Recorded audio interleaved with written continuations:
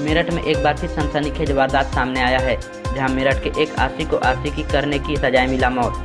दरअसल आपको बता दें कि मेरठ के थाना गंगानगर क्षेत्र में एक वेगानार कार जली हुई हालत में मिली थी। कार के अंदर एक युवक का कंकाल मिला, यह देखकर क्षेत्र में सनसनी फैल गया है, लेकिन ऐसे में पूरा केस ब्लाइंड था। पुलिस के गाड़ी की नंबर प्लेट से गाड़ी की मालिक की शिनाख्त की तो जिसका नाम संजीव निवासी ग्राम जंघेड़ी थाना मवान, उम्र 25 के रूप में हुई। वहीं इस मामले में लड़की का नाम सामने आया। लड़की पलवनपुरम की रहने वाली है। सजीव की प्रेमिका थी, जिसके बाद पुलिस ने लड़की के भाई और पिता को गिरफ़्तार कर लिया है। गिरफ़्तार कर सख्ती से पूछने पर संजीव को मारकर जलाने की बात कबूल कर ली है। परिमिका के परिवार का कहना है कि संजीव हमारी लड़की के पीछे पड़ा हुआ था। लड़की का रिश्ता भी फ़ोन करके तोड़वा दिया, जिसे तंग आकर हमें उसे मौत की घाट उतार दिया।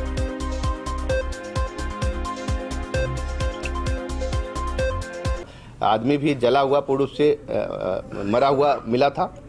गाड़ी के नंबर प्लेट के आधार पर उस व्यक्ति की पहचान की गई। और फिर आगे जब पूरी छानबीन की गई तो पाया गया कि वो लड़का एक उस लड़के का एक लड़की से प्रेम प्रसंग था, जिसके लिए वो उस लड़की के घर पे गया हुआ था और वहाँ पे उसने शराब पी थी और उसी लड़की के परिजनों द्वारा उसकी हत्या करके उसकी शव की शिनाख्त मिटाने के लिए के उद्देश्य से उसी की गाड़ी में रख के गाड़ी ले आके वहाँ पे जला दिए थे।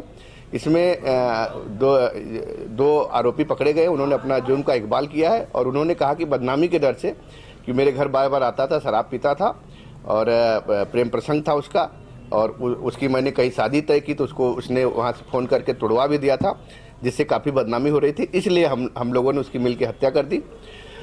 इसमें बाकी आरोपियों की तलाश हो रही है।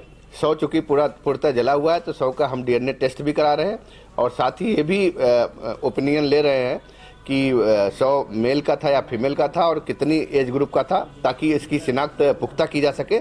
और इस प्रकार ये बहुत चौबीस घंटे के अंदर इस सनसनीखेज हत्याकांड का खुलासा गंगानगर पुलिस द्वारा किया गया है।